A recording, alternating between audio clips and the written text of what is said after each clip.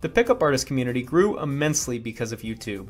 What were once hidden forums only found by men desperate enough to go searching for them, the community became known after the book The Game was released in September 2005. But it wasn't until YouTube started becoming a part of everyone's daily lives that the community was fully in the mainstream. The pickup artist community was an enigma as it served as a beacon of hope for many young men struggling with dating women, but was also seen as a cringy attempt at improving one's dating life for older men who could see through all of the gimmicks. What started as a bag of tricks and pickup lines turned into a full self-development clinic and becoming your best self. The community grew as quickly and at the same pace as those teaching it. During the early stages of the community, Mystery, who was essentially the godfather of pickup, was teaching a straight line system for men getting laid. He basically turned women into objects and provided a roadmap for spiking her emotions, giving her reasons to be attracted to you, and then guiding her to the bedroom so that you could finally score. One of Mystery's mentees, Owen Cook, decided that he wanted to attract women using a different system, a system that relied more on personality, wit, humor, and just being yourself. Nearly 20 years later, Owen Cook has been running the largest dating company in the world for a decade and has shown no signs of slowing down. The game's brightest star has been confronted with one of the biggest challenges his company has had to face in its lifetime. His entire collection of videos relating to the art of attracting women have been removed from YouTube out of self-preservation. I can't explain how important these videos were to my life and hundreds of thousands of men all across the globe. Many people who've come throughout throughout time, uh, starting in the 80s, more so in the 90s and the 2000s, they were teaching uh, pickup techniques. So what to say, what psychology to use, um, what stories to tell that would impress the girl. Some guys would do magic. Some guys would do uh, other. I mean, God, there's all kinds of things out there to try and uh, convince or manipulate or impress women uh, to sleep with you. Right? That, that that's basically what it comes down to all of that stuff felt really, really fake to me. And I've tried it all. I started getting into this stuff in the late 90s. So I was there kind of in the beginning of, of, of, of one of the big, big waves of uh, pickup and seduction. And it all just felt really fake and phony. I really started getting into this stuff, and I decided to do something a little bit different. I wanted to meet and connect with women, but I didn't want to lie, cheat, manipulate, bribe them, or get them drunk, or go to clubs. All of that stuff just felt wrong. So I did something a little bit different. I decided I was just to go out there, walk around the streets, and like go into coffee shops, um, normal shops, malls, subways, whatever. And when I would see a woman I was really genuinely attracted to, I would just go talk to her. That's it. I'd start a conversation. I might say, hey, great walk, great shoes. Hey, you got a beautiful smile. I really like you. Hey, do you have a boyfriend? I mean, whatever. I tried all kinds of different things, but fundamentally, I was I was not lying about my intention uh, intentions or pretending that I didn't like them and, and acting like you know like I'm not really interested. No, no. I would walk up to them and I'd give them a direct compliment. I'd tell them they were attractive, and uh, and I would uh, and with the intention of getting them on a date with me. That was that was clear. That's that was my thing. Okay, so the whole thing was called direct day game.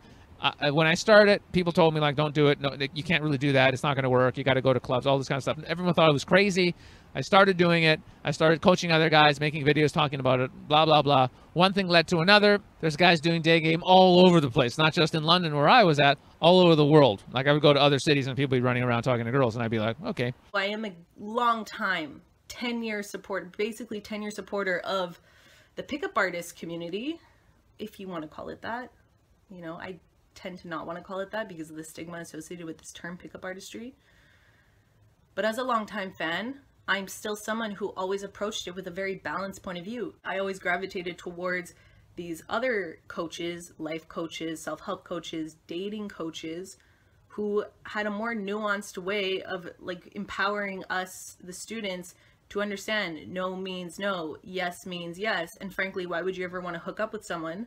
You know, if your interest in this stuff is to hook up with people, which many people it is, why would you ever want to hook up with someone who's not completely batshit so excited to hook up with you? We could actually just build ourselves as people, people who are so awesome, desirable, and just people who other like women friends whoever want to spend time with. Back in the day you had books such as the game and like books such as uh you know like different little funny little like little books. Uh, what else were you gonna do right? At least that was a, that got guys out of the house and it, it got them approaching and it got them trying to make something of of their daily life rather than just kind of give up and kind of just be frustrated right? So at least there's a light shining there right where there's possibility for improvement right? So that that's that's that's a good thing right? Even though you know the tactics were silly and you know it's no big deal. No harm no harm's really done when a guy comes up and just recites a line. Let's say girls can see through that anyway so that didn't last long so from there came this whole wave of this company that just uh, finished up right now. It's called Real Social Dynamics, and th- th- this company, um, you know, it kind of sparked and it, it kind of started, you know, teaching guys the ropes of how to how to go about approaching girls and how to, you know, go through it. And you guys, you got the CEO, um, Tyler. Um, you know, he, he goes by the name of Tyler, um, and he. Uh, you know he, he was putting in the work with his with his with his group and you know bringing forth to the table you know different type of things guy, guys could try to improve their dating life and they were exploring that themselves in that area. And they actually became a very uh, prominent company a very big company right? Um, and they started getting a lot of business and you know with all that business it attracts negativity of course. And there was a drama with this um, the julian guy and of course you know he learned his lesson from that. But regardless of all that, deep inside they seem like good people, right? So, you know, it's kind of sad to see this ship uh, sail. Around about 2005 in London, there was a guy called Yad. So Yad was a day gamer on the streets of London, and he went out and he spoke to, approached women during the daytime. Um, and then about, I think it was 2009, daygame.com uh, was formed. So daygame.com was for me was the foundation was what I learned from uh, about 2009 or so I discovered daygame.com and that consisted of Yad, Andy Yosha, Tom Torero, John Matrix uh, and I think there were a few others. Um, but what they what they taught was was really quite pure and it was the ability to meet and approach women during the daytime without the presence of alcohol in a social situation, approaching people and being able to hold a conversation. And that's kind of what it was for me. Glasgow MSP Bob Doris condemned the films. Maryhill Springburn MSP Mr Doris said the videos were an unsavoury reminder of some views that are still held within society. I know some views that, that some men are attracted to women. It's fucking horrible, isn't it? Don't worry, we'll all be gay soon enough. Then you'll be happy, Mr Doris. I felt unusually sheepish about about speaking and a bit unsure, given that advances in female equality and empowerment are not well served usually by middle-aged white men bumping their gums. In fact, I don't think it's ever well served. Well, that's Bob Doris, SNP MSP. Sadly, he didn't heed his own advice and he's been at it again. Bob Doris to be followed by Mark Ruskell. Bob Doris. First Minister, uh, BBC Social highlighted the practice of gaming by a so-called male pickup act artist in Glasgow, including footage on Maryhill Road. Whilst I would make no further comment of that specific matter, given it is now subject to a police investigation, does the First Minister agree with me that this would be a timely opportunity to encourage the public to participate in the Scottish Government's hate crime consultation, eh, which is currently seeking, amongst other things, the public's views on recommendations around potential changes to the law on gender hostility and the stirring up of hatred? First Minister. Well, can I thank Bob Doris for raising this issue? I'm sure everybody in the Chamber uh, would, like me, have been shocked uh, and appalled by the BBC's investigation into so-called gaming. I uh, watched the BBC social film and can say I was uh, utterly sickened uh, by what I saw. It did indeed, though, as Bob Doris uh, says, highlight why there is such a clear need for action to be taken to tackle gender-based prejudice and indeed gender-based violence. Lord Brackadale's view in his report on hate crime was that there are patterns of offending which relate particularly to hatred based on prejudice towards the victim's gender and which should be addressed through reformed hate crime legislation. Uh, the current consultation seeks views on how best to tackle misogyny and gender-based prejudice in Scotland and I would certainly encourage everyone who has an interest in this area, uh, which should be all of us, uh, to make their views known through the consultation process which runs until the 24th of February. Nicola Sturgeon and Bob Doris's take on this issue. It's all about hate crime, gender hostility, stirring up hatred, prejudice, gender-based violence, misogyny. Well, let's just look at some of those things. Gender-based violence, well, we can dismiss that one straight away because there's no violence involved here. Right, misogyny. Does this bloke hate women? I think he worships women, but he just sees them as sexual objects, though. But I don't think he hates them. He just selfishly uses them. And it's not because he's got something against women. It's because some women can supply what he wants. A woman that he finds unattractive, he wouldn't have that attitude towards them. Stirring up hatred and hostility. I mean, what he's basically doing is inciting men to be selfish in seeking to use women for sex, consensual sex, have to add. Does that amount to hatred? I'm not sure it does. Does that amount to hostility? I don't think so. Maybe he's urging men to treat women with contempt, with disregard, but it's not all women. And he's not aiming to make people anti-women. He's aiming to make people pro themselves. He's promoting selfishness, not misogyny. Selfishness, where does that come in the politically correct dictionary? It's not there. So the MSPs don't see that so easily. They just reach for the tools to hand, which is it's hate speech, it's a hate crime, it's misogyny, all the familiar terms. A big problem with this is that in the Scottish Parliament there are lots of valid opinions that are never articulated by MSPs, partly because hardly any of them believe them, and partly because the ones who do don't say. They keep their heads down, they're more interested in their career and avoiding controversy than actually speaking the truth. People, they're a little bit blind, and I think that's why they kind of hate game, because it makes your defects glaringly obvious. It's like, um, this is what you need to deal with in order to advance, and people do not like to admit they're wrong, and they do not like to have their defects pointed out. They would rather stay asleep and just move on as sheep. It's a real uh, mirror to who you are, and it, it makes you grow or it makes you just regress. Yes, absolutely. Um, like uh, it, it's good to like have a strong conviction, uh, but um, I uh, I still you know try to temper that out. Uh, one of my favorite quotes, one quote that I try and live by actually, is a Bertrand Russell quote, which is, "I would never die for my beliefs because I might be wrong." Right. So uh, it's good to have conviction, but you know it's important not to get too arrogant. You know, and always be kind of like trying to see things from a different angle, and you got to be open to to the fact that maybe you're wrong. You know, and uh, um, I, I love pickup because it's forced me to really kind of uh, self-analyze a lot more had I not started on this path. So, so you know, I think for me has you know, really like uh, helped me uh, to be happier and to, um, yeah, j- just to be uh, a better person all round, I reckon. Because it forces that introspection. This shit has been going on since Casanova and before. Seduction has been around for ages. If you look at the real red pill teachings, that is old time seduction.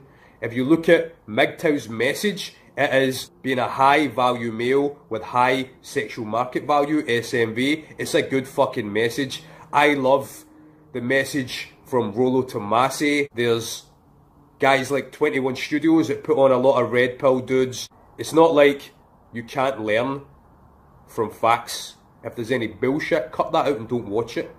But it's easy to learn once you have field experience and you're like, yeah, that works and that doesn't work. I love this stuff in the black manosphere, that's a whole new level. It's not pickup community, but it's like the balance between pickup community and MGTOW. The way I see coaching is look, guys just want to learn to be naturally better with women. That's it. They just want to learn to have better conversations. They want to be more confident. They want to have less social anxiety.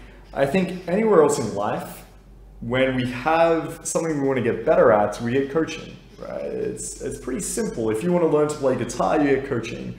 If you want to be a better public speaker, you might take uh, you might take coaching on that. If you want to learn to have better social interactions with women, you can get coaching on that too. Now, there's nothing wrong with that. There's nothing bad about that. And the, the first rule um, to exemplify this is the idea and concept around always leaving the girl better than you found her. Uh, the mindset is always you're trying to bring value to the people around you and you're trying to create a positive, positive experience no matter what. There's an idea that seduction essentially provides a blueprint that men can follow as a way of interacting with women. So you'll be given a more or less scripted set of lines, routines that you can, you can follow. Most training camps now will spend the majority of their time out on the streets, in bars, cafes, museums, any public space, actually practicing these techniques, putting them into action. And that means often unwillingly drawing women into these interactions. The whole point of everything I was teaching was that so that when you saw a woman and you felt that moment in your chest of like, oh my God, she's so beautiful, that no, that deep inner knowing of like you want to go meet and connect with somebody, That's real. That's authentic. I, I think that's us on a soul level wanting to connect with another soul. Sure, there's a physical attraction there, but it goes deeper than that. And how many times in my life I've felt that genuine connection where I just wanted to meet someone and, and see what would happen. And, and I didn't do it because I didn't feel worthy or I was afraid of rejection and I just couldn't bring myself to do it. The amount of times I felt horrible, just wondering what would have happened if I if I said hi to that woman. Maybe she would have liked me. Maybe we would have become friends. Maybe she would have been my girlfriend. You know, maybe we, maybe that was the the mother of my future children. I'll never know because I never said hi. That's a crappy feeling, and that's the reason I started doing day game, and that's why I was teaching it for years. Uh, and it and it and it changed the lives of thousands of people. People email me still to this day. People recognize me on the streets. Hey, Sasha, you know, blah blah blah. I got a girlfriend because I saw your videos, all the time, and that's good. It's a really really good thing for you to be empowered to take that part of your life into your own hands and not live like a freaking coward. You know what it was like when, it, when before I got into this stuff in my teens and, and my early 20s, I was absolutely a coward. It, it felt horrible not having the courage to express myself on such a basic level of just coming over and saying hi to somebody. It's terrible. And it's no way to live, really. And it's getting worse with the Tinder culture and all this uh, online dating stuff. It's getting worse and worse and worse. People have less social skills now than 20 years ago. Men gather and they learn directly from these dating coaches. And I went and I paid, and it wasn't investigative journalism at all. no, what it was was uh, I found myself at some point prior to that event that I attended. I was 21 years old, falling in a slump of depression, losing myself, finding myself being emotionally abusive to my girlfriend, to myself. Just truly, the container of Spencer O'Gallagher became this toxic, disgusting, confusing mess of identity and conflict. And there I was at 21 years old, tuning into myself and maybe what I need. And I knew for years my medicine, my life coaches, the people who inspired me to find myself, to find my purpose in this world, happened to be these really weird fringe coaches from the what was once like a proper dating company, Real Social Dynamics.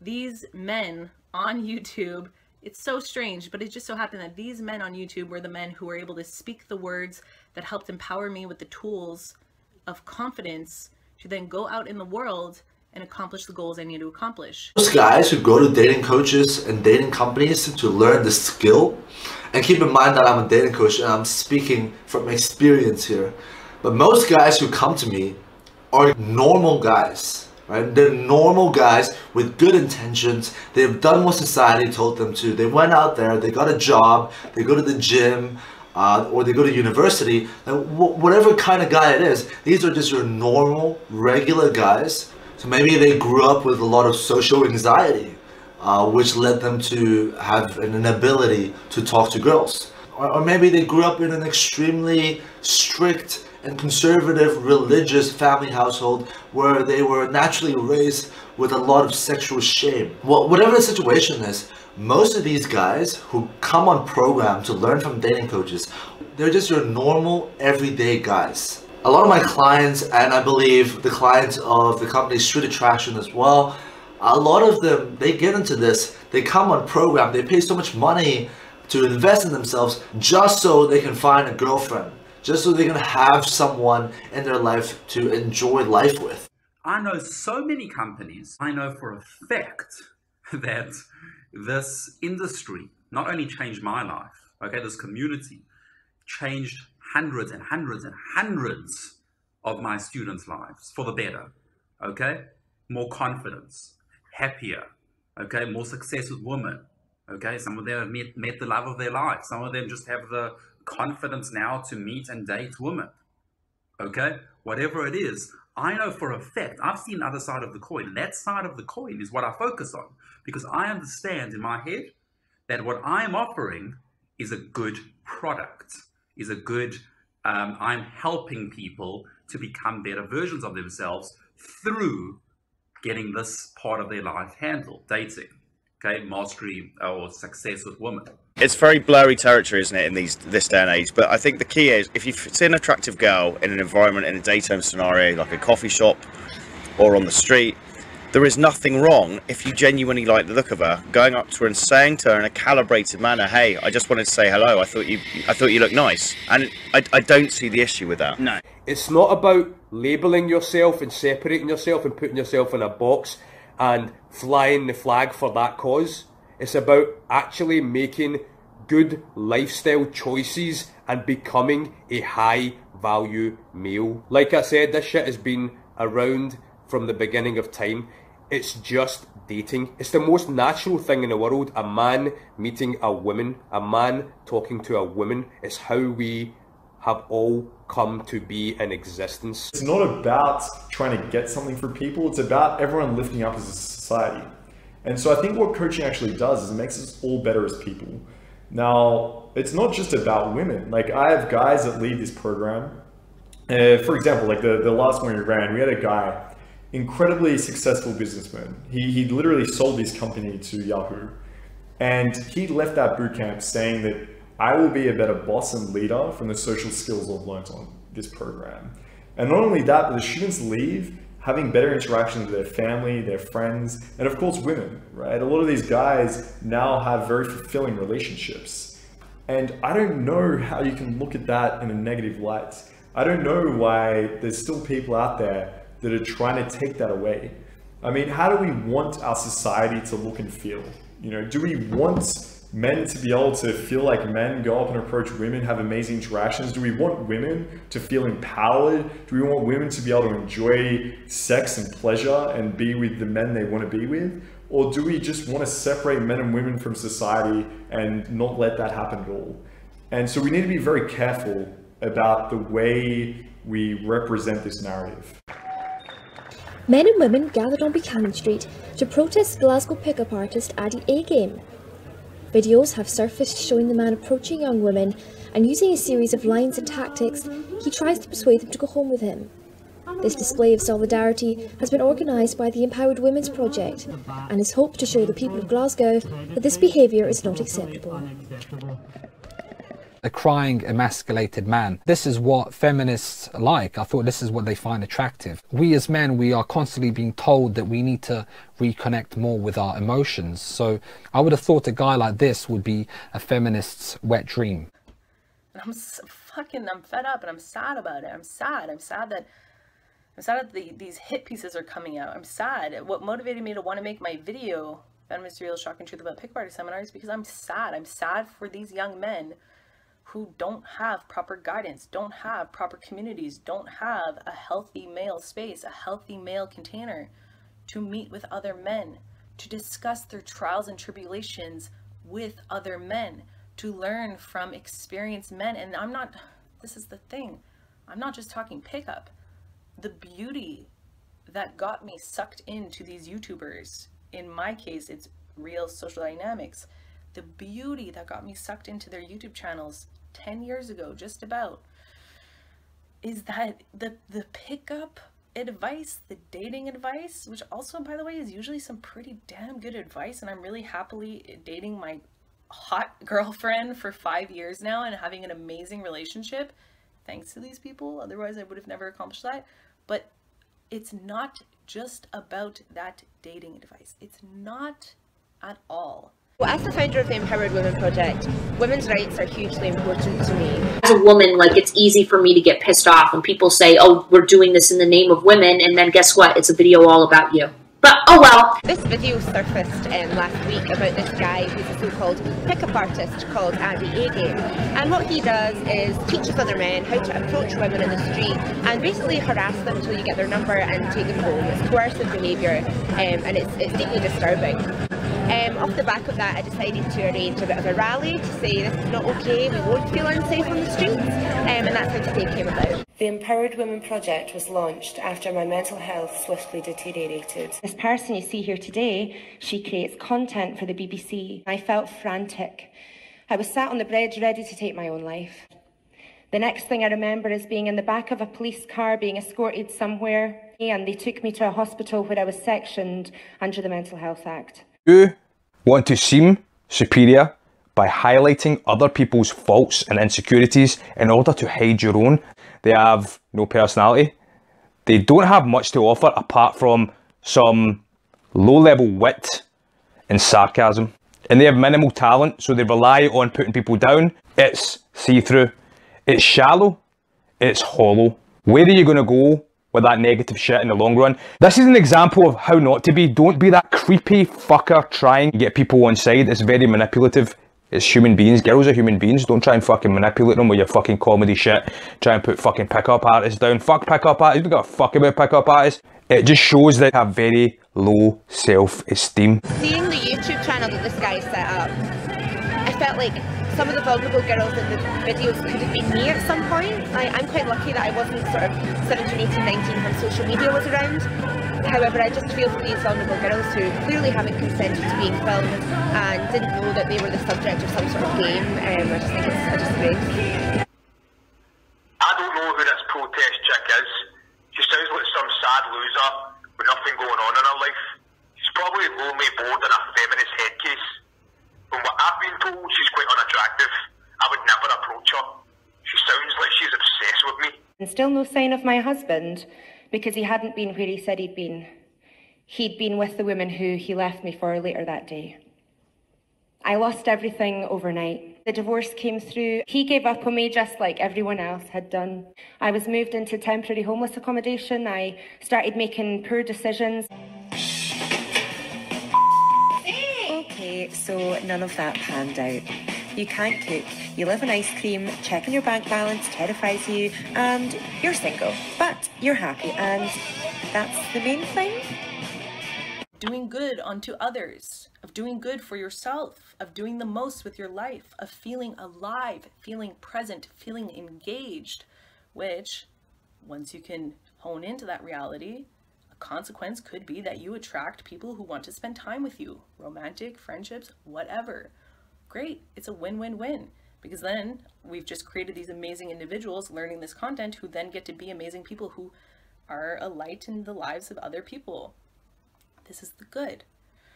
So the reason why I encourage, like, point our fingers at ourselves. I'm so fed up. I'm so fed up because I only got closer to these communities after making Feminist Reveal Shocking Truth about Pickup Artist Seminar. We need to not only call it out, but we need to make sure that if we see this behaviour as citizens, that we, we feel that we can approach and help people. What's this woman talking about? It seems like we're living in a different universe altogether. Take the skills that they gave me, the marketing skills, all these beautiful things that they helped nurture in me. And at a certain point, it's like, I love you guys so much, but you know, I'm still young and dumb and I want to go do my own thing. So this is a long and deep relationship in my life is this community, this dating advice community, because not only did it empower me with happiness, confidence, communication skills at a young age, it, it also always realigned me back on my path, my purpose in my life. You know, it would always like, it would always fix me. I'd always found that it could fix me when I was falling into slumps of depression and toxic behavior. And at some point, I even got to work with them. I'm so grateful. I'm so grateful because in doing that, I only got to meet more students, more men, closer behind the scenes. There I was, a woman invading the male space. Yes, okay, maybe. Sorry, sorry, sorry. It's also kind of my space too. It really helped me. There I was, this woman, and I got to witness what these men are in these communities who are paying to attend these events, these dating events. I got to meet hundreds of them. You know what I found? They're just guys. They're just beautiful, amazing men who have experiences of a lot of pain. They don't feel aligned to their identity. The world they grew up in, the society they grew up in, doesn't give men a clear path in how to embody themselves as men. You know, and to me, the world that we are in, and this is why as like feminist, as pickup artist, no the men don't want me and the women don't want me because I'm trying to speak and bind these worlds together. I'm creating a bridge because what I see is like if we want to talk about patriarchy and if we want to talk about toxic masculinity, I think society as I see it breeds those behaviors. And I think these other coaches are trying their best to create an alignment within young men so that they could knock toxic masculinity out of the way and create these balanced men going about the world living their best lives and also nurturing amazing and fulfilling relationships with women. It's hugely important that women come along and men today to show that we won't stand for this behaviour on our streets. Um, day and night we want people to feel safe enough to go around about their day without worrying about being harassed and bombarded by some guy who's just, you know, preying on vulnerable people. That sounds quite sexist to me. She's already belittling him. It's almost like she's not sure of what she's saying, like it's a question. She's saying it almost as if like, uh, is this what you want me to say? Is this what you want to hear? It's not sexism. To confuse the two is dishonest. You would have thought that the program makers would have checked what sexism was before they started a witch hunt on those that supposedly practice it. Anyway, let's look at the dictionary definition of what sexism is. So this is the Collins uh, dictionary definition. Sexism is the discrimination on the basis of sex especially the oppression of women by men. Even the modern dictionary definition of sexism is sexist. He's not being sexist, at least not by the Collins dictionary definition. I felt like a coward in a hospital ward, pacing the corridors, wondering why I couldn't even manage to end it all. I'd even failed at that. I was thinking recently about just how much porn I consume. These girls have a brain as well. As a matter of fact, women are a lot better at detecting bullshit than guys. There, there is an evolutionary explanation for this, but basically, ever since back in caveman days, women have always needed to be better at detecting bullshit because back in the day, their life depended on them being able to choose the right guy and the right people to follow and therefore they needed to be better at reading people. So these girls, if they decide to go on a date with the guy who was on a seduction program, who approached her in broad daylight on the street, then it's because she genuinely is interested in that guy and that she chose him. The end result of all of this is going to be guys who are going to have healthy dating lives, who are perhaps going to have girlfriends, wives, and build really meaningful relationships. Because at the end of the day, I do feel that if you meet somebody you know and this is just my personal opinion a lot of the best uh, even sex itself comes from a, a, nice connection you build with somebody it just isn't all about the sex right and one may think oh yeah they're just i mean there are people out there who just out for that but the truth is that's sad right um, and I don't want to be judgmental either, right? Because you might have situations where even for a girl, she just want to hook up and you know sleep around, see what she likes, or for a guy as well. But at the end of the day, you're going to meet somebody you're going to have a deeper connection and, and it's going to create a friendship and of course if if you have a, a good uh, sexual chemistry as well then that's uh, that's a good thing right? So but you you take the relationship where you want to take it but the initial part where you're meeting somebody how you're introducing yourself you know that needs to be looked at needs to be established for people. Strong insightful balanced men leading other men creating empowered men in this world. Healthy men. Healthy men. I find they're doing the work of mitigating toxic masculinity. But rather, it's us in this like watered down BBC feminism. And I am a feminist, but I will say it. In this narrative, I find we are doing nothing to help men, to support men. We are doing nothing to create healthy male spaces, containers for men to grow. That's all I'm saying is like, fine, let's cut the pickup shit out of the way. I don't care. Let's cut it out of the way. Fine. But at the end of the day, these men need somewhere to assimilate, to grow. It's the most beautiful thing I've ever had the pleasure of witnessing as a woman invading the male spaces, as I'm always accused of. Sorry. But I will say I'm so grateful because I've had the pleasure of watching men break down in tears, hugging other men, you know, really just letting go of all these coping mechanisms because it's so fucking uncomfortable being them. I can't even imagine. That's why I feel weird making these videos. Like, I, I have a lot of my own privileges as a woman in society. I do. I have a lot of permission to, like, let go, to emote. I do. I'm so grateful for that. And I'm so sad to think that men don't have those spaces. They don't have that permission. And I'm so grateful for these male spaces that exist for men to do exactly that. And I'm sorry, world, that it happens to present itself as pickup artist communities.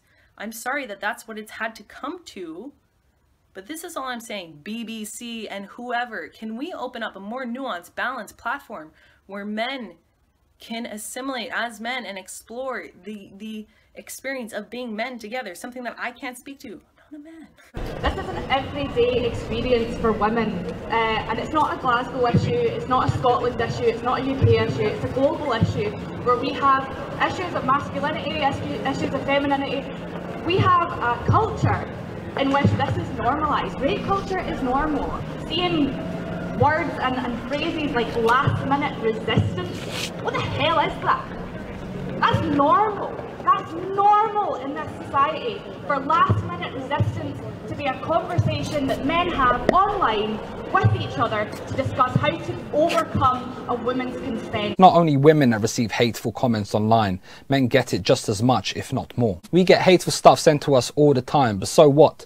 We're adults, it's no big deal. I can always close the browser. However, being yelled at through a megaphone by a lunatic on the street is a lot harder to ignore. Feminism is quite angry and has a lot of complaints and separatism. Fuck what the shamers say and fuck what the feminists say. Where is the other side of the story? Which in my mind, I'll tell you what it is. In my mind, the other side of the story is rather than pointing our fingers at these communities and just saying, no, no, no, no, no, no, you know it'd be great? You know it would be so great, world? Like, I'm freaking losing it. It'd be great if we took the time to ask ourselves, you know, to point the finger back at ourselves, men, women, whoever, to point the finger back at ourselves and ask, why do these communities exist? Why do these communities need to exist? And maybe they don't need to exist, but let's unpack it. Why do these communities need to exist? Is it that young men are just disgusting, horny, manipulative dudes who just want to use women and fuck them? Is that what it is? Because I understand when we create these media pieces like the BBC has done and other people who have attempted to do, that's what they are saying. It's sort of like it becomes this kind of like virtue signaling, like, no, no, no, no, those men are evil, those men are evil. But in my mind, it's like, hello, why does this exist? Do you really think that these men are these disgusting slimeball manipulative fuckers? What I want to what I want to explore and what I why I find it so important to talk about these things from a more balanced point of view is let's look at men. You know, and the manosphere is going to shit on me from tell me I'm like, you know, uh, Marla Singer from Fight Club invading male spaces. Fine. Yes. Sure. Okay. Fine. But the way I've always felt in getting close to these communities, in paying my $300 to attend an event where I was the only woman, is I must conduct myself with the type of responsibility that ensures I'm recognizing this is a male space. And the male space is an important container for men. If you asked a hundred women if they would like to get approached by the right guy and at what time they would like to get approached by the what by the guy they like um, they would tell you anytime. They would tell you yeah i'll be more than glad if i got approached at a coffee place or i would be more than glad if i got approached at the mall right? Like a hundred women you asked a hundred women a high percentage would be like yeah like or maybe even a hundred of them if you asked them the question. If you were to get approached at any time of the day by the guy that you picture ideal in your mind wouldn't that be cool? And I'm, i mean why would you say no to that right? Like why would you say no to that? Just like he approaches you he chats you up for five minutes you you get to know him a bit he seems pretty cool you know you've got stuff to do right? And even not even five minutes even if you're like uh, short on time two minutes he chats you up for you've got stuff to do but it's he seems cool. Why not get a coffee with him and get to know him further right oh, he seems like your type, da da da da da, you would probably accept that, right? The reason I started Day Game was so that we could get away from all the manipulative, dodgy stuff that goes on normally with guys who are trying to meet women, right? So at least back in the back in the day, I, I don't even know what's going on out there now, but I'm assuming this is still going on. Men don't have the courage, the chutzpah, the balls to walk up to women they're attracted to in real life and say, "Hey, you're gorgeous. Do you have a boyfriend?" I'd really like to take you out for a coffee sometime if you're single. They they don't. I, I know men should be able to do that, and it's not really a big deal, but they can't, and they don't because it's a big deal. They're afraid of rejection. They're afraid of what are people going to say? What do people find out? She rejected me. I'm not good enough. Blah, blah, blah. I'm probably not rich enough. She probably has a boyfriend. Million and one excuses that men come up with, okay? So so most guys would go to clubs and maybe through friends they'd meet some women or whatever but a lot of guys would get drunk so they would have the courage to talk to women and some of them unfortunately would be preying on women who've had a few drinks and they'd go for those. Not not so cool. There's there's always going to be people that are framing certain things in a bad light. Okay? I'm teaching what i'm teaching i know helps men. I know takes men forward. I know that there's a lot of other companies that what they teach helps men and really helps them with their dating life and that's that's the main thing. I know that this community, this industry is helping men. Okay? Um, you take any industry, as I said before, you take uh, marketing, you can frame that as, oh, these sleazy marketers, or you can frame it as, look how they're trying to market a product that's really helping society. Everything can be framed in two different ways, and that's all this is. This is a negative frame of the community. It's a negative frame of these uh, of the industry. Okay, and in my opinion, it's incorrect. It's not close to the objective truths. I always saw the dating advice to just be a vessel of communication. If anything, it's a hook that gets these guys through the door because guys think, what's my place in the world? I'm a man. What's my place in the world? I must fuck women. I'm a man. I must do this. So it's like basically the the ploy there is to hit men where they're most insecure about themselves, their place in this world, their purpose in the in this world, and how they fulfill their identity as men who can conquer women. It's a little bit of a hook. Get them through the door. Get these men clicking these videos, these informative, like how to, you know, connect with women types of videos, content on the internet. And then once they're in, once they're in, you end up hearing from these people, and again in my case it's real social dynamics, who then begin to unpack life. Okay? Then begin to unpack this amazing, again, kind of fringe self help content. The kind of stuff that Tony Robbins can't even talk about. The kind of stuff that I always felt was extremely real. Like how to align with your goals, how to quote unquote burn the boats and really go after what makes life exciting for you, to pursue your passions, to recognize that being an attractive person who fuck dating, being an attractive person who people want to have in your network, people, whoever, you know, possible business opportunities, cool male friends for men, awesome female partners. It requires building skills, life skills. It requires building yourself as a human being. So when I got sucked into the world of uh, real social dynamics through the pickup stuff, I was using it to advance my social skills.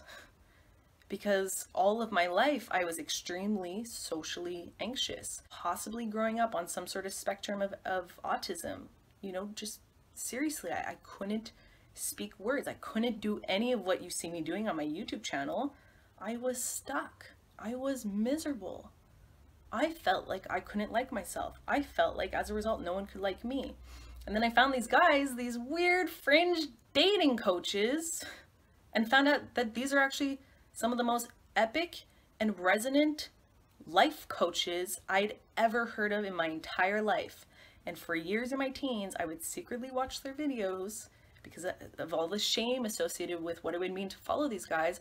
But I was secretly watching their videos so that I could find that connection with the messages they were propelling. During my time in the community, I witnessed so many young men completely turn their life around and become a much better person simply because they improved their dating life from following RSD. It may sound pathetic and dumb to those of you who have never experienced doing this, but it was an area in life I wanted to improve, and bars and nightclubs all around the world with the goal of getting some numbers and landing dates with the prettiest of women, but ultimately what we were all after was finding the best version of ourselves already within us.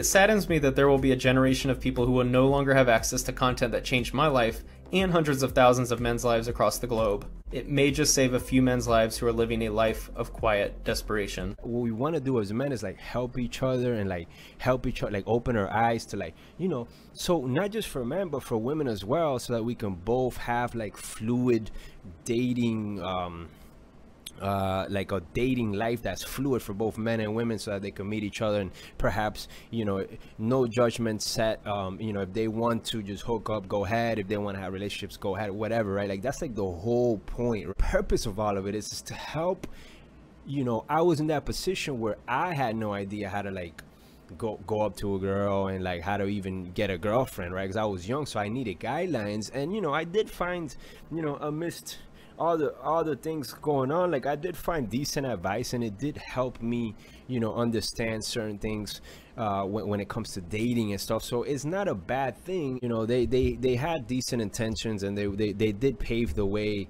for what uh you know for a lot of good things and good ideas that we have today and a lot of knowledge about dating and stuff. So you know it, it's kind of sad to see like people who criticize actually the, the most important aspect of what i was teaching was the social freedom element.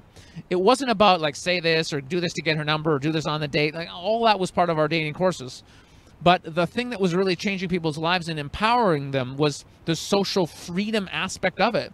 The fact that you would be free in any moment to express your truth to whoever's around. So if you're walking down the street, a woman walks by, she looks at you, look at her, she smiles, you smile, and you think, you know what? I think she likes me. I really want to meet her. And you have the courage to, to walk up to her and say, hey, how's it going? Yeah, beautiful smile. I just want to say hi to you. What's, what's your name? You should be able to do that as a man. You should be able to do that as a woman, too. So we empower men to be able to do that. But it takes work. So we actually go and we look at what are their beliefs, what what are the things going on in their head, the, the mind programs, the patterns, the societal beliefs, the, uh, the self uh, beliefs that are stopping them from being able to just express themselves authentically. Mostly they're bullshit right? And we expose them as bullshit. And I have a series of exercises I take people through where they challenge that little voice, that little that ego right? That says, oh, you're not good enough. She probably has a boyfriend. She's going to reject you. What will people think? We actually train you to separate who you are from that voice, to see it as a critic, and actually to shut that voice down so you can follow your heart, your, your true desire, what you have going on here on the deepest level. That intention of like, oh my God, I want to go meet this person. I want to go say hi to this woman. I want to give this woman a compliment. We show you that it's okay to follow that voice. Nothing bad's going to happen. And most women actually, if you do it the right way, they really appreciate uh, the attention. They appreciate uh, a genuine compliment from a guy. Be you, express yourself fearlessly, be authentic, and everything will be fine. It's not about manipulating anyone into doing anything.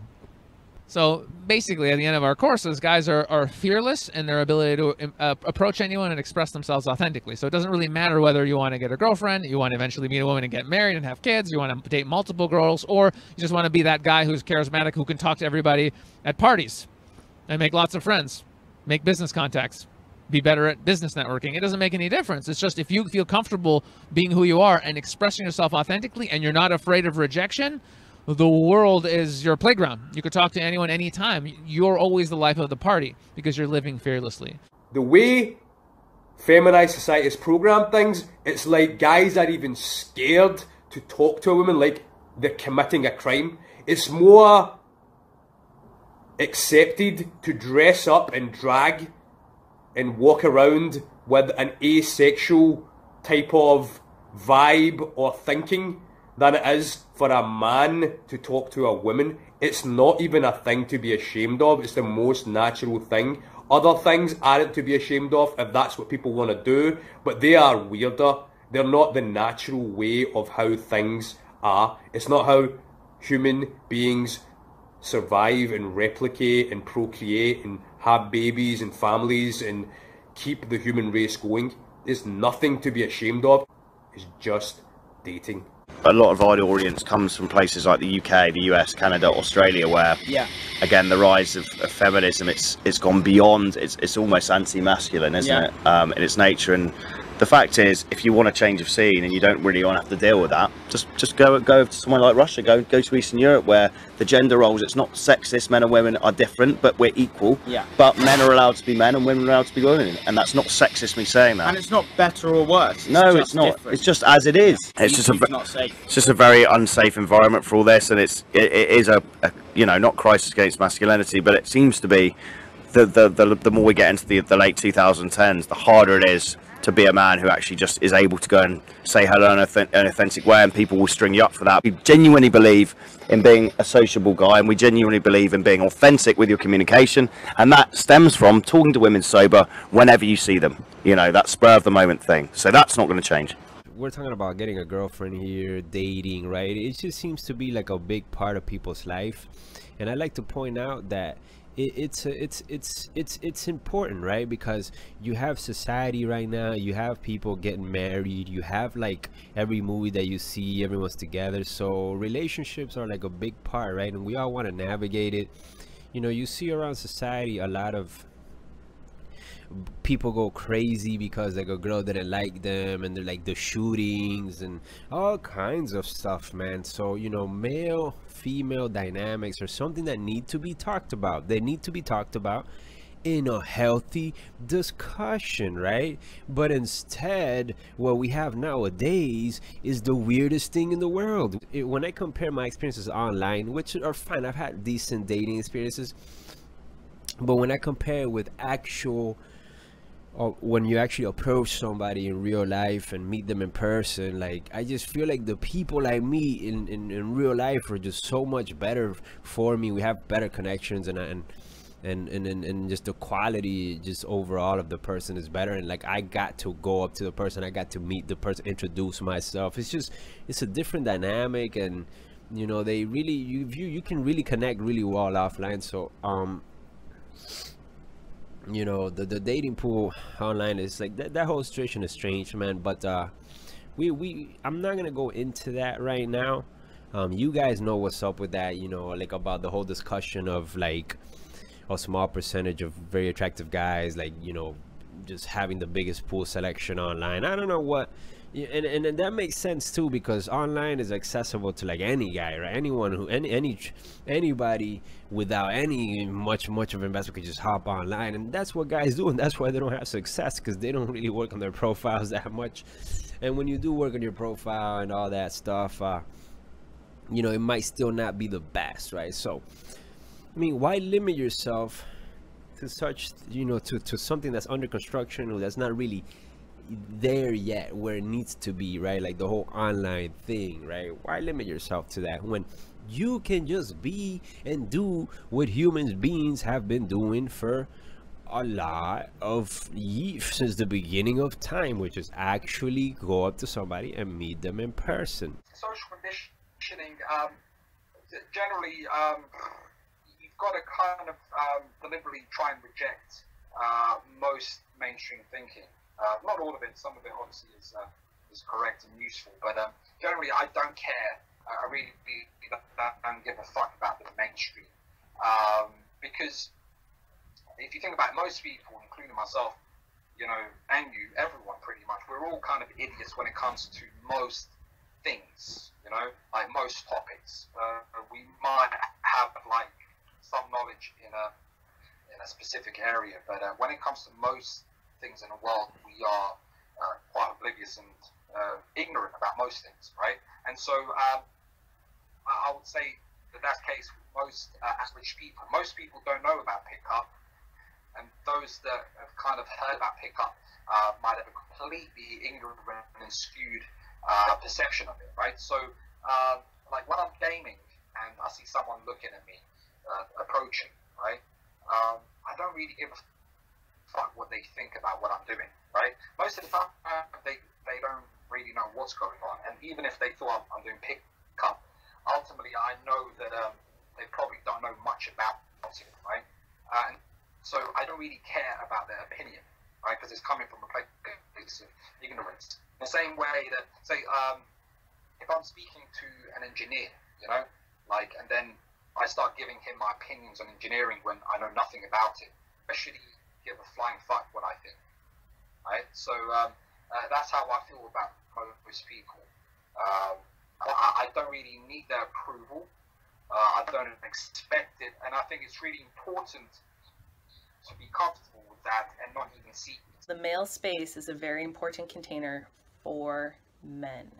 And why I invite anyone, everyone, the BBC, whoever, to ask this question, point our fingers, me, point our fingers back at ourselves is because I think we need to take more responsibility for our society and the consequence of our different narratives and scripts in it that put many individuals, men, women, and everyone in between, it puts us in these boxes where we don't really know how we align with the world, what we want to do with our beautiful and short lives in this world. And as a result, many of us find these different communities that we can find some alignment with so that we can then develop ourselves as individuals and make the most of our lives and bring value into our lives and then cycle that value back into the world around us. And I'm talking in general. All of us need at some point to gravitate towards community. We are social creatures. We are social creatures. We need communities to flourish. We need communities for that sense of identity. Tribes, whatever it is, we need community and what I see is greatly deficient. The society of dating right now is a mess. It's a huge mess. Like the online thing is just a mess. Guys are confused. I mean, a lot of guys are frustrated. They're not able to get dates. They're not able to get girlfriends. They're not able to get laid at all. And they're struggling. They're online BSing. That's like the number one thing now. And then they're just you know it's just sad to see um, how bad how bad it is. And it doesn't only affect men it affects women as well. If you take out like the hardcore people who are like really trying to dig in and trying to figure things out and you kind of just leave like you know the the the socially conditioned kind of like floating ideas of like oh you need money to get girls or you need you know super good looks to get girls or you need this like you know what i mean? Which which you know which is what pushes guys away and kind of makes them fall into a shell and actually not get success and not get dates. But there do there does need to be the proper advice. Like of course you should take care of yourself. Of course you should look as, uh, as good as you can. But you should also be confident and know how to navigate and know how to approach women at bars and clubs know how to approach women during the day correctly guy seeing a girl and approaching her, just walking up to her and saying hi, is an extremely natural thing to do. Nowadays, because of the modernization of our society with the rise of social media and there being naturally less socializing than there used to be before. I believe that is a cultural trend that is happening in this day and age. The media nowadays is trying to have more and more of an influence over our thoughts as shown in the type of news that they're presenting as well as the way that they're presenting these news where it's no longer just a matter of fact or an objective fact but now it's heavily diluted with personal opinion and political views something as pure and as beneficial for a society as normal regular guys who have social anxiety learning how to be more confident, learning how to better communicate themselves. If something like that can be misrepresented in a way where they put eerie, weird music over it with lots of flashy, weird editings to paint the whole thing in a negative, super dark and manipulative sort of way, then we really have to be careful where we consume our information and watch our news from. When you, when you don't fulfill that need, you start fulfilling it in other ways if you can't get it, you know. So you end up, you know, watching pornography, a lot of pornography, um, and you start delving into different sort of addictive fetishes, and just through the the brain chemistry of uh, desensitization, you you keep changing and changing, and before you know it, you you know, you've got some deep deep problems there. So there is a real, real, real problem at the moment with these guys. You've got the guys that don't go out and they're just masturbating at home every day, watching pornography, um, not getting out there, and they're living their lives in anguish and turmoil. And you've got the other end of the spectrum. You've got the guys that are, you know, quote unquote, doing the best they can. They're, they're working their jobs and they're still not meeting uh, women, and they're still not meeting these women because it's very um, hard to meet people if you going out three hours a week on a weekend and that's all you've got. So it's like what does the modern man do? So you look at what the modern man does okay? So he works his nine to five job um, and what he goes out on a Saturday night like everyone else uh, gets drunk with alcohol so he numbs himself and then maybe hooks up with a girl and you know something happens or it doesn't uh, or what scroll through Tinder.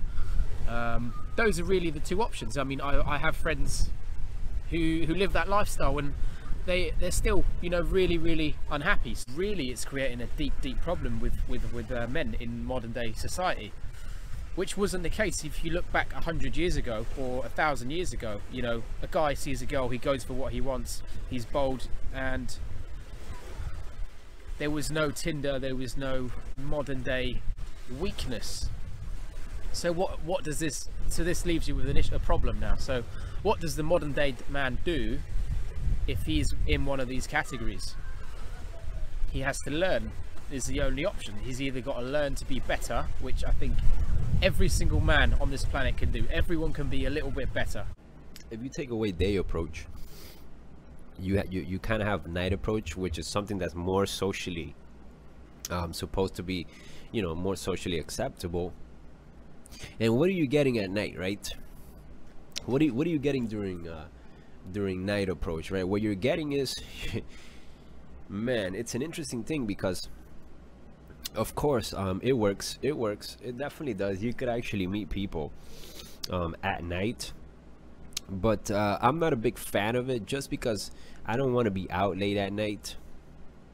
And I don't I just I don't want to be out drinking um, and if you want to meet somebody here's the thing it's like really do you have to go out and drink every weekend? Do you have to go out and like sacrifice sleep and you know go out there. When when when the alternative is so nice it's like you have a morning coffee you wake up it's sunlit it's beautiful you just you stroll down to some street and you meet a woman out you know during the day in a very healthy manner where you have your stuff together. You're not out all night you know losing sleep and and you don't have to necessarily party. I mean there's nothing wrong with it at all. I think night approach is awesome. I just don't think it has to be the only option right? And there's many options and that's one of them. And there's absolutely nothing wrong with it you know you can meet people doing that as well. I don't want to talk bad about it because there's nothing bad to say about it. I just want to say that there's alternatives um, for people and that you don't only have to do that right? Like i've had a decent dating life this year and i haven't done much nighttime approaching right? Because i like to be up during the day. I like to work on my business. I like to you know work on my job take care of myself my health have a nice diet go to the gym you know spend time with friends and occasionally i'll go out you know at night spend some time with friends. Yeah i can do approaches here and there as well but i'm not forced to go every weekend just to meet people because i know that i can meet people in many different places. It's unfortunate that it's easier in general with this community with this um, industry. It's easier for the for society to want to paint us in a bad light okay? Because no one wants guys to get better with women unfortunately okay? People might say they do. Girls might say they do. Society some people might say they do. No one wants you to get better with women. No one wants you to become more confident. No one wants you to become a better version of yourself. Stay the same person buy certain um, get certain things buy alcohol buy drugs to numb yourself, buy all these things. Okay, don't improve yourself. Just use all these, get Netflix, get this, get that, watch movies. Okay, always remain the same. Okay, and that's the way our society is is being shaped. That's that's what it is. Okay, unfortunately, no one is not really going to do hopefully it happens, but a documentary saying, no, you should, um, you should be better, you should be a better version of yourself, that's very niche. Okay, it's very niche. It's not in the mainstream. If you want to find self-help, self-development advice that's really practical, really effective, it's more, it's niche. The more mainstream you go, the more watered down the content becomes. because the mainstream can't handle certain content. Okay? So overall, I mean, look, I told, I said to you, very weak piece of journalism, um, but that doesn't matter. This there's always going to be people that see certain things in a certain light, and that's to do with their beliefs, their mindsets. Don't let something like this, um, a, a piece like this, a documentary like this, um, give you any negative emotions about is what I'm doing correct? Is what I'm doing right? No. Okay. He framed it in a they well BBC framed it in a terrible way. Okay. They took on a certain frame. That shouldn't be the frame that you believe in. That shouldn't be the frame that you identify with. You should identify with the frame of I'm here to improve myself. I'm here to improve my life with women. And if you believe in that frame, keep going. Okay, keep taking action, keep improving yourself. Don't let something like this stop you or hinder you in any way. This is nonsense again, and we're going to have to put up with a lot more of this in the UK, but it's going to get better. It's going to get better. We're not going anywhere. So, anyone that's watched that documentary and is scared now to go and talk to a girl that you find attractive in the daytime, don't be. Women are always going to respond to strong men. Women are always going to appreciate you coming up and respectfully introducing yourself to them because we're not moving to an online dating culture. It's not the way that we're going to let the world go and let the culture in the UK go. There are better ways to do that and we're not going to have we're not going to let it go that way. It's it's incredibly damaging to the social fabric of of, of the UK. If you think about it in terms of biology, women are looking for the one percent of guys, you know, the exceptional guy. The uh, quantity means nothing to them. Uh, what matters is quality. Is you know uh, how many pregnancies can they have. So really, for them, quantity is nothing. What matters is quality. So in a way, everything um, what we're trying to do in pickup is to be the guy that stands out, the most attractive guy.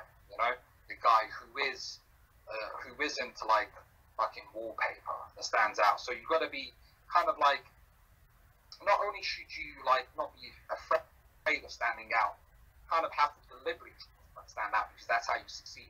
And not just in pickup, but like in most other things in business as well. You know, uh, you're not gonna uh, have a multi-million dollar business if you're like like everyone else, are you? So um, you, you got to realize that um, yeah, most mainstream thinking isn't helpful. You know, it's true. It's there to keep you, you know, average. They like half family uh, didn't really approve of uh, what I was doing. You know, they, uh, would say, "Hey, why can't you just get a fucking normal office job?" Da, da, da, da, da. But if I gave a fuck, I mean, what they thought I would have given up, but I didn't. You know, and now most of them have come round and you know they think what I do is cool and they like it. You know, you, you basically got to own it. You can't be fucking embarrassed. Say, "Fuck you," and I'm gonna do this because I want to.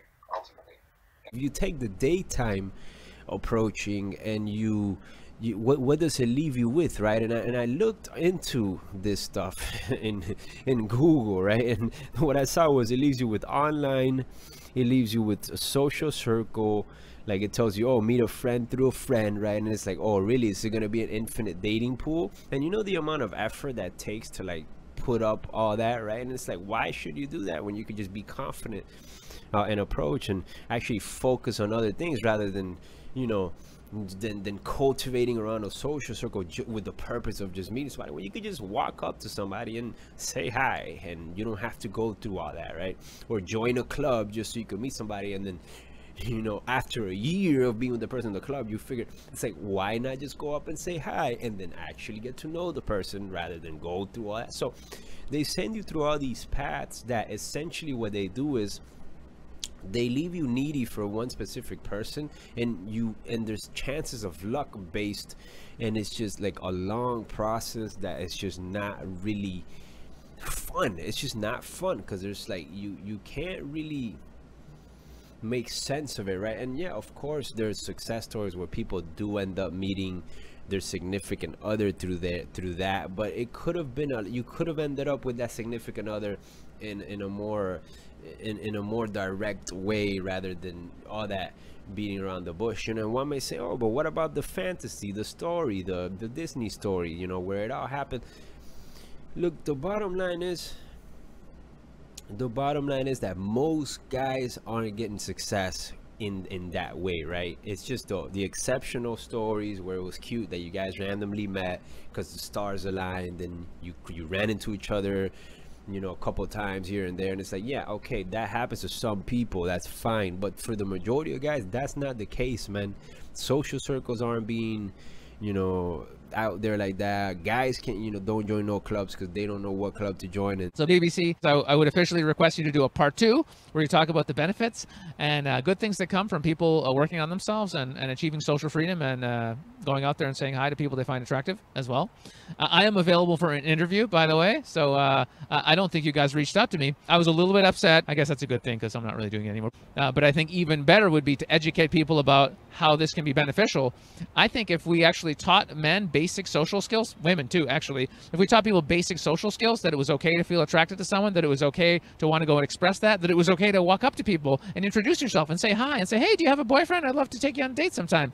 If men got that kind of basic education in when they were 10 or 12 or 14 years old, we would not be having the problems that we're having today in society on many, many, many levels. So, again, teachers, hey guys, uh, start teaching this stuff to the kids. It'll make the world a better place.